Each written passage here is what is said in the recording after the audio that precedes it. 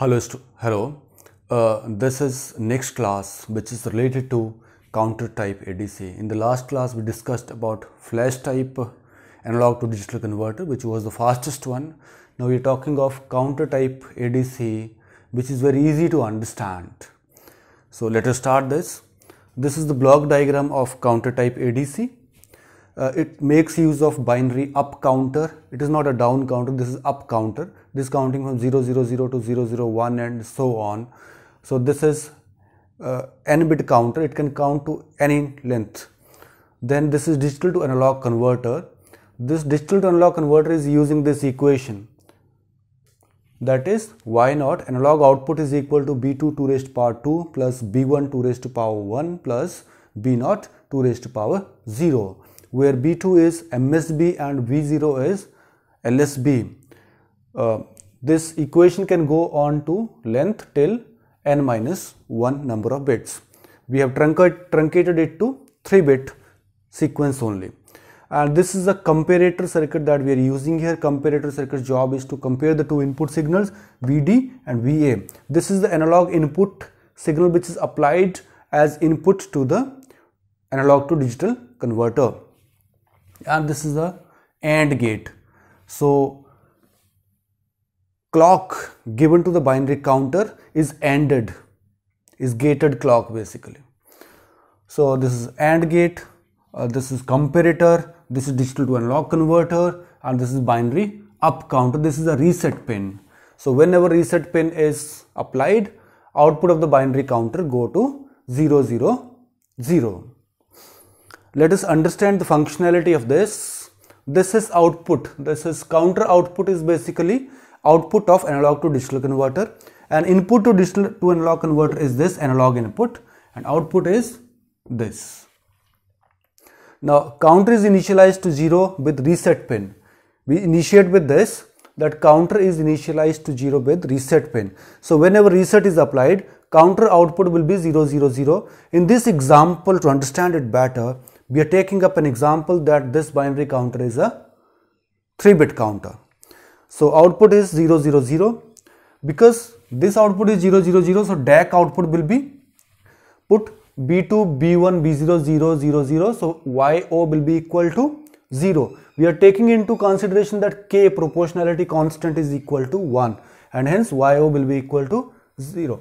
So this YO in this case is VD, VD is equal to 0 now which input is more analog input or VD input? In this example we have taken analog input equal to 6.5 volt. So 6.5 volt is more than that of this and this comparator is working as a comparator of these two signals. So whenever output is positive we consider it as binary 1 whenever output is negative we take it as binary 0 that is output of the comparator. So in this case, when we compare 6.5 volt with 0 volt here, output will be 1. The output is 1, clock is applied.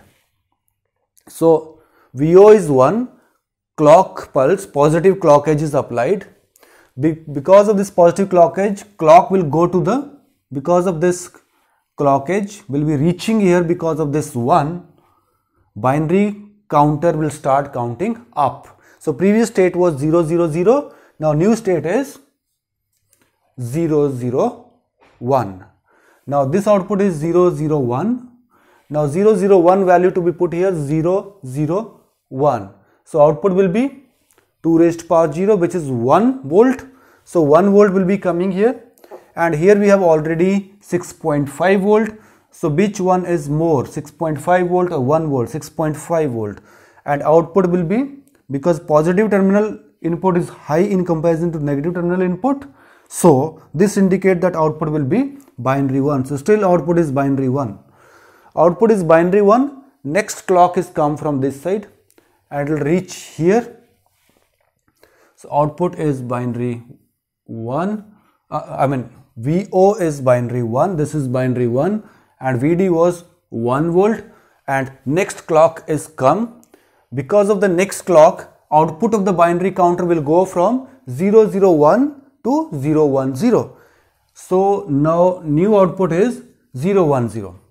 0 1 0 now DAC output will be 0 1 0 will be 2 volt now 2 volt will be VD so 2 volt is VD VA is 6.5 volt. If we compare both of them still VO is binary 1 and hence VO is binary 1 as long as VO is staying binary 1 counter will get the next clock.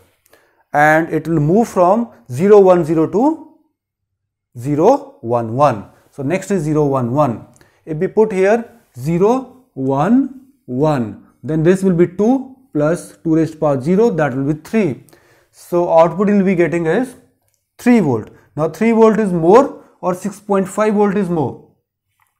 6.5 so still VO you are getting as binary 1 so still it is binary 1 and hence this will reach to the next clock of the binary counter.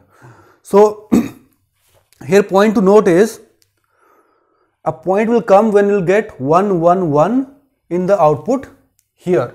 Let us say I'm I have got uh, 1 1 0 in the output 1 1 0 in the output. So 1 1 0 means 1 1 0 2 raised power 2 is 4 plus 2 6. So 6 volt is the output 6.5 is smaller so still binary 1 here. So this will get the next clock.